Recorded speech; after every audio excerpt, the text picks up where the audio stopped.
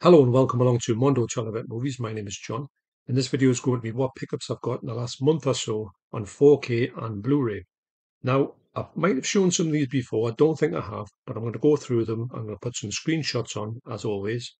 Now, do take these screenshots with a pinch of salt because uh, what I do is I just point my camera at the screen and I take some snapshots, but it'll kind of reinforce what I'm talking about in the picture quality on these discs. So, first up, in the two for fifteen pound sale, I saw these ones. I've been after these ones for so long on Blu-ray, and I thought, right, this is the time. And I'm so glad I did because I nearly picked these up a couple of times before. So first up, I got Class of 1999. When I keep looking at this movie, it's always full price. And I always think, have I got this in the collection? But I hadn't. Anyway, so I picked this up. And I have seen this a long time ago. And it's one of those 80s movies where you kind of get the same kind of tropes in it. But I, I quite like that. I think 80s movies with this kind of class, they're out unruly and they're out to sort of get each other. I think they're all quite, pretty enjoyable types of movies. So happy to get that one. Of course, when I got that one, I had to get another one. This is the other one I've been after probably for the longest time. I've seen it many times before to buy, but I've never picked it up. And I saw this back in the day on video. It is The Wraith. Now, my good friend John Hall sent me over the DVD of this movie and I was going to watch it. But I saw this for this cheap price. I did ask Nige from Rockgod 2004, linked down below, his views on what he thought the picture quality because I thought the picture quality on this isn't good, I'll stick with the DVD. But the picture quality here is absolutely superb. And this this movie is a great movie. It's very 80s, which I like.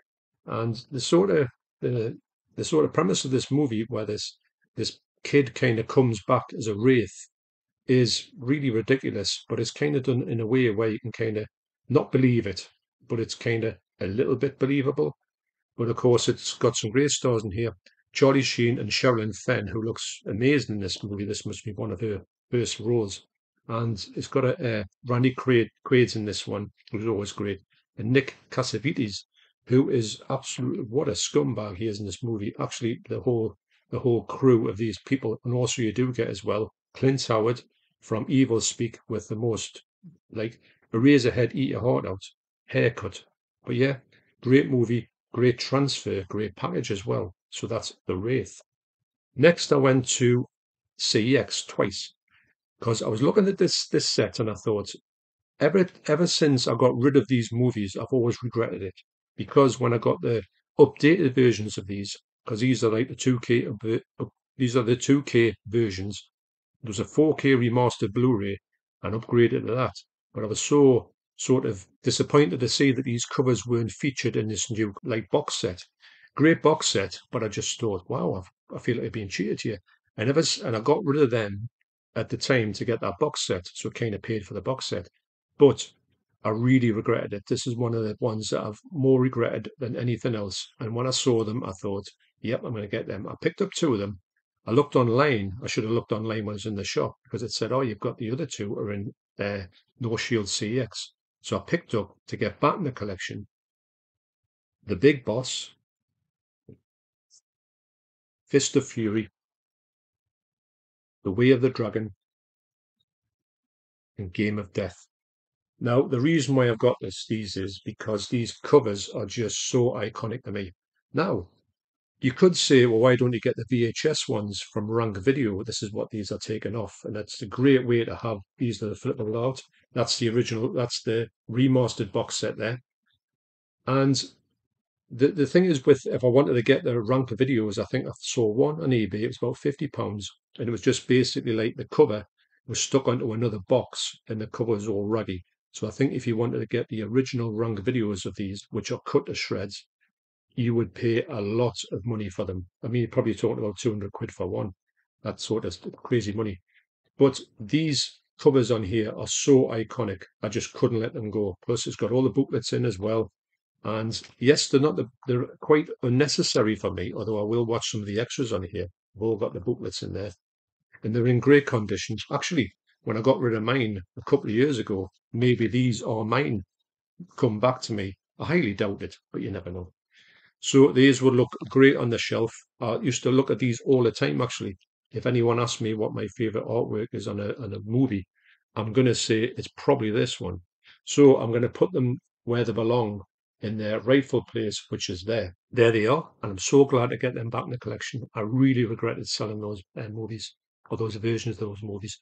Like I say, I don't really need them. I've got them time and time again. But uh, the Bruce Lee stuff, that's the stuff I, re- I regretted the most in selling. And they look excellent on the shelf. I just, when I walk past, I always get a, even the spines, I get a blast out the spines. So that's the Bruce Lee kind of original collection from Medium Rare. Next up is Drunken Master 2. Now, when I heard this was getting released uh, with Rumble in the Bronx, I thought I have got to get this uh, this movie because I haven't got it. I have heard that it's been out before. It hasn't been the best of qualities, and I thought, right, I'm going to get this on this nice edition, and the edition is good. But what the what I found out with this edition is, yes, it's this e-cine edition, and I thought myself, I don't think I've got any more of these ones. And I'll tell you the reason why I don't think I've got any more of them is because when I get the the Blu-ray out of here, I thought I'm pretty sure this is the Blu-ray the Blu-ray that was out before. And I don't think it's meant to be the best of Blu-rays. It's all right. It's adequate. I mean, the picture quality is pretty decent. And it's a great movie as well. To be honest, for the £24 that you're paying for it, you're getting a previously released Blu-ray and you're also getting like a pack of cards. You get a, a booklet actually here. Booklet's okay. You get some uh, pictures in here. No text, just pictures. You get these R cards, nice R cards, double sided, glossy on one side and matte on the other.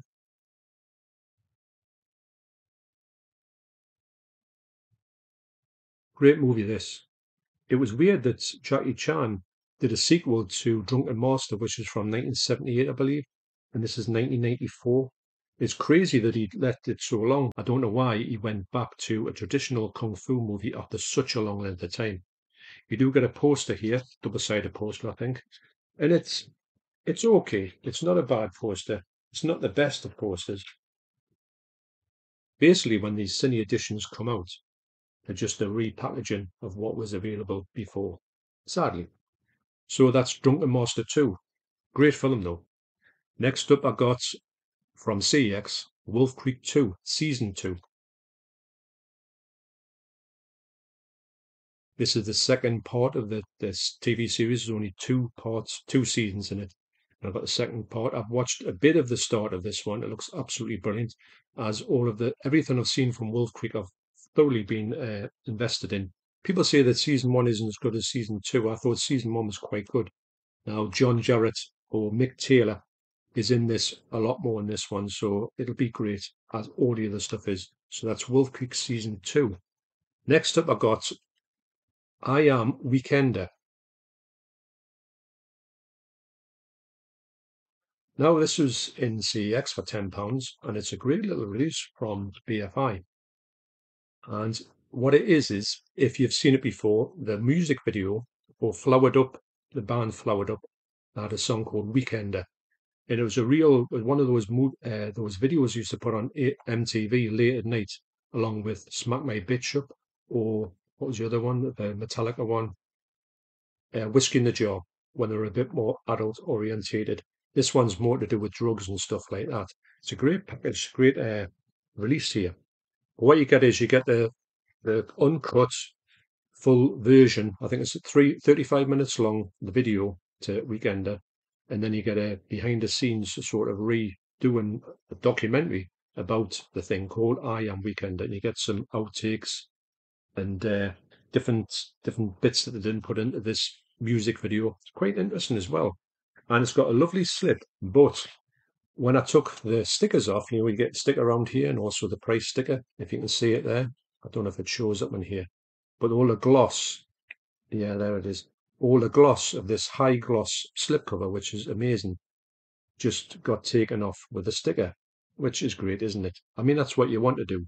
You want to get something and say, I can't wait to get home and destroy this. But anyway, looks all right in the shells. Quite a good release as well. Got it's been remastered as well, and the remaster is really good on this uh, this presentation. So that's I Am Weekender. Next from HMV, I got Vampira. I've always been interested in this movie, and I knew that the picture quality here wasn't that great. It's just it is what it is. It's Got no special feature on it at all. I know it's a comedy of such. Now David Niven plays Dracula, and he, he sort of gets these people to his house, well, his, his castle, and he's got a henchman there, and the henchman dresses up like Dracula, and he pretends to be like the servant, but he's just after obviously blood and that. And he's got Linda Hayden here as well, in a in a part. And yeah, it's a it's a strange movie. It's a funny movie actually. I quite enjoyed it. It's a bit odd, but I've got to say, at the end of this movie, is a without I won't tell you what happens at the ending, but it's one of the most un-PC endings you'll ever see. And these days, it would not be allowed. It would be frowned upon massively. But it is what it is from the day, and I think it's 1972, if I had to guess. But yeah, good movie, and but I was quite surprised at the ending of it. I thought, wow, they really went there. But anyway, yeah, but I thought it was a, a good laugh. But the picture quality in it, as you can see from the screenshot, isn't that great. That's Vampira. That was eight pound actually. Yeah, I think eight pound. Next up, I got from HMV. Children shouldn't play with dead things. Now, when I got this one, actually, when I was looking at it, I thought, why? Is It's from the back label there, and it doesn't seem to have any one of them boxes. And this is brand new, £15. I thought, hmm, why is that not a thing anymore? But I've been off this movie for quite a bit. Actually, I was going to get it from the States, and because I've read good things and I've heard saw trailers of it, and I thought, yeah, I'll get this one. But I, I couldn't believe that they were going to put it out, so I went immediately and got it. But it looks great, actually, considering what it was. And I'm trying to think what year is this from. I'm not too sure. It usually tells you what the year is. 1972. I knew it was an old one. This looks ultra low budget. And I think what happens is the, this gang go to a cemetery to dig somebody up, and the corpse kind of comes back to life as a zombie and it kind of runs rampage, I believe. But I don't know any more than that. But I'm really interested to watch this. And this label here, it's got some good stuff in it. This uh, black label gets some great movies. I don't know why it's not got a hard box on it because all the other ones have. But anyway, you know, it is what it is, as I say. So that's children shouldn't play with dead things. And, and you shouldn't. So next up I got, and I don't know if I showed these two before, but I'm pretty sure I might have done, but I'm not too sure, but I'll show them again. Guardians of the Galaxy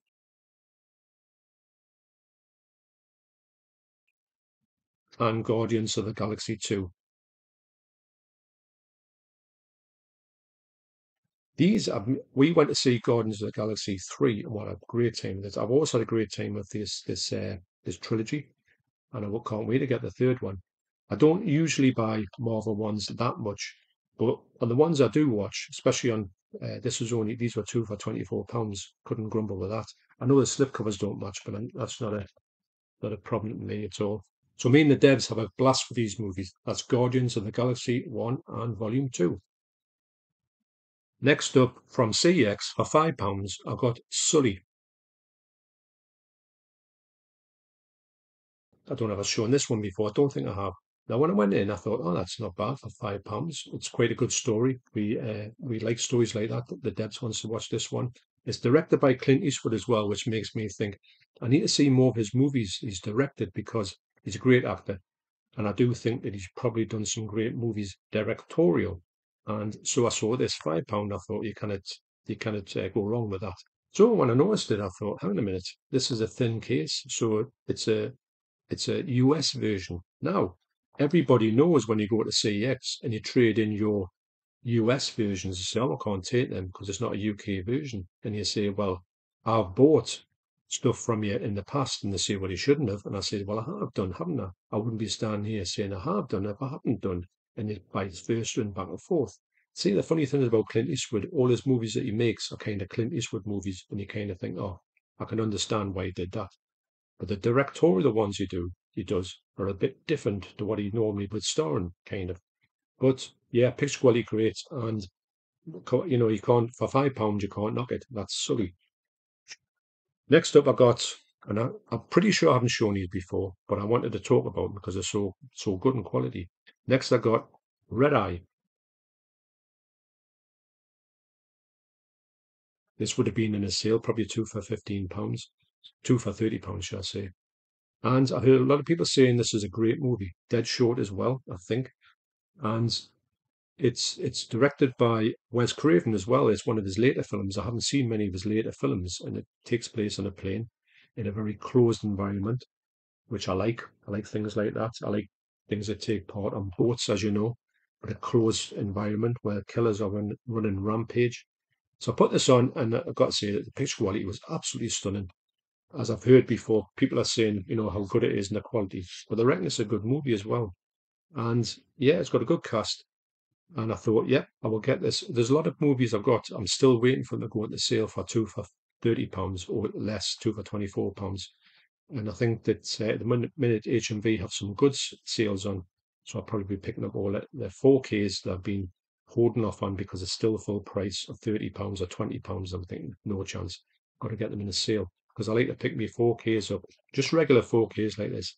I like to pick them up in the sale, and I feel better for getting them and it's uh, I know I pay a bit more for your boutique labels, but you know they deliver a lot more than just a regular uh, case like this. So that's Red Eye.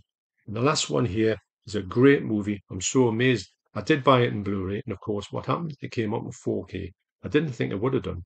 And it's The City of Lost Children. This looks amazing on Blu-ray, and I thought this has got to look on good on 4K because the actual visual um, of this movie, the visuals of it, is stunning. The set pieces, I've never known sets like it. The kind of what you see is no CGI. It's all uh, practical stuff, and it's mind bending how they've got this stuff done.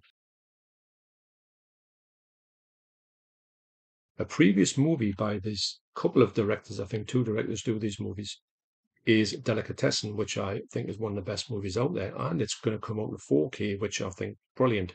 That's one of the ones that I would love to get in 4K. I never thought I would have done, but here it is. It's going to come out. And it's if you like this movie, you've got to see Delicatessen. For me, Delicatessen is much better than this movie. Not taking anything away from it because I think it's a great movie. But yeah, the picture quality is absolutely stunning.